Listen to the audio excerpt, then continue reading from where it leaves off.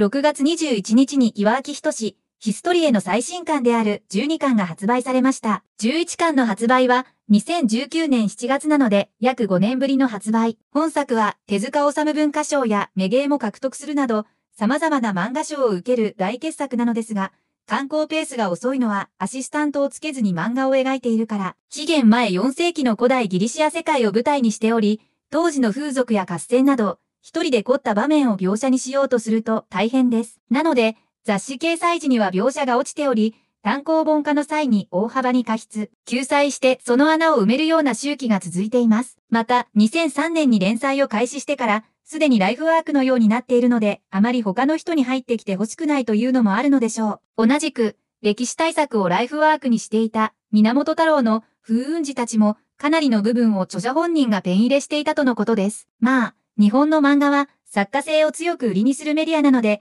アニメのようにスタジオが完全分業制で制作している Webtoon とは違うわけです。有名漫画なので、物語の概要は簡単に紹介すると、主人公は実在の人物のエウメネス。紀元前4世紀にマケドニアからエジプト、ギリシア、ペルシア、インドの一部に広がる地域を征服し、強大な帝国を築いたアレキサンダー大王に書記官として仕えた人物です。そんなエウメネスは、ギリシアの都市国家カルディアの出身、都市の有力者ヒエロニモスの次男として大切に育てられていましたが、実は血のつながりはありません。ヒエロニモスが奴隷の調達を行う遠征先で反撃してきた蛮族スキ隊の子供です。その際のスキ隊の女の戦いぶりがあまりに凄まじかったため、また、女の子供であろう、当時3歳ほどのエウメネスの動じない眼差しに感銘を受けたため、ヒエロニモスはそのまま自分の息子としてカルディアで育てました。エウメネス自身も幼いため、そのような出自の記憶は定かではなく、自分をギリシア人だと思っています。ただ、残るのは、時たま見る、戦う女の夢のみです。しかし、そんなヒエロニモスも、エウメネスが成人する前に、部下の裏切りに遭い、命を落とします。その際に、ついにエウメネスは、自身が好き体であり、ヒエロニモス家とは血のつながりがないという出自を初めて知ります。そして、当主が亡くなったため、ヒエロニモス家も乗っ取られ、エウメネスも奴隷として船で遠方に売られることになりました。しかし、エウメネスを乗せた船は間もなく沈没。国海沿岸の蛮族の村に流れ着き、ここに住み着けるかと思いきや、次は近隣の都市との構想に巻き込まれて、やはり村を出ることになります。漫画は、そんな青年エウメネスが、故郷であるカルディアに戻ってくるところから始まります。数年ぶりに戻った故郷カルディアは、アテネと戦争中にあったマケドニア軍に包囲されています。マケドニアは、アテネへ小麦などの物資を国会側から供給する中継点であったカルディアを取り込もうとしていたわけです。その軍を率いていたのは、国王であるフィリッポス自ら、ここから漫画は始まり、エウメネスとマケドニアの縁が生まれるわけです。最新刊である12巻では、このフィリッポスが暗殺される話、当然、この後、巨大な帝国を築くことになるアレキサンダー大王に権力が移ることになる重要なエピソードです。こうした大きな歴史の間で書物に残されていない人間関係や当時の風俗は岩脇仁が補っており、大河ドラマとして超一流の作品になっている。さらに、サイコスリラーや SF ホラーの要素がついに物語の前面に顔を出してくる必見の感です。ヒストリエの魅力といえば、まず、このエウメネスにあります。スキタイの血が流れているので、剣の腕も上々ですが、エウメネスよりも強い人間はいくらでもいます。エウメネスは自身が望むと望まざるとに関わらず、常に動乱に巻き込まれて旅に出ることを強いられます。結果的に巨大軍事国家であるマケドニアで出世街道を爆心する一種の騎手流利端になっています。このエウメネスが壮大な旅路で活躍するのは知略に優れているから。要は、作中でエウメネス本人も参照するように故郷を流されたエウメネスが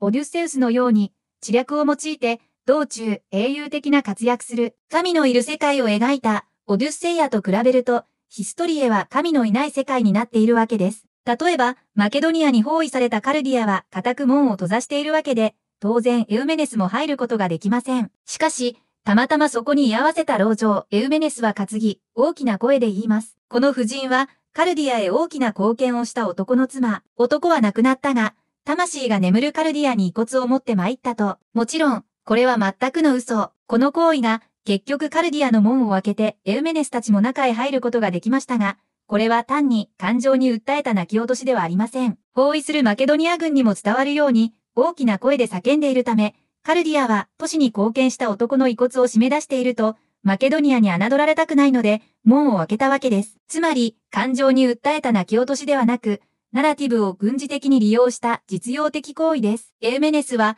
残酷な遊牧騎馬民族として描かれるスキタイの血が影響して、感情を抑えることができる。工学的な知識も人一倍あり、凝った仕組みのおもちゃをマケドニアの王子に献上したこともあります。このようなエピソードからは、エウメネスが単に論理的だから実用的なのだと考える人もいるかもしれません。しかし、物語上はエウメネスの実用性に影響したとされているのは、幼年期にカルディやヒエロニモスカの図書室で過ごした読書としています。ホメロスやクセノフォンといった創作者が歴史を題材にして創作したナラティブを消費することによって、その実用的な知性を磨きました。一般的に実用性というと数学や論理と結びつけて考えられがちですが、これは自然史的な観点から間違っています。完全情報化であれば、そうした前頭葉を使った論理ツールは役立ちますが、人類が生きてきた世界は不完全情報の世界。そして、当該環境に関する情報が完全に集まらなくても、人間は判断を下して行動を取らなければなりません。そこで知性はナラティブ、物語のように主体の行動を伴って進化してきました。これが脳神経科学のアプローチから注目されるようになってきたナラティブ研究です。盗作した日本の文学業界では、